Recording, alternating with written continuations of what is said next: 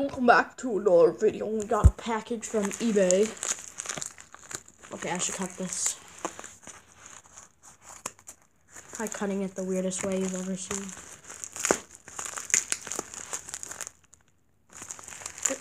That's. I see it.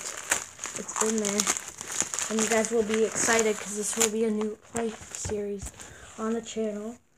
Lego Star Wars for the GameCube slash we are gonna play it on that Wii. Yay, bubble wrap. Okay. Wait, wait, what's that paper?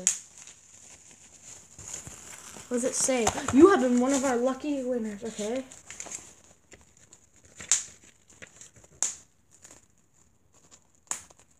Oh, it says, um, dear my dad's name. It has, look how small their discs are. Yeah, but we got it, and there's the GameCube disc right here, the manual, and we're gonna be doing the series. We're gonna start the first episode.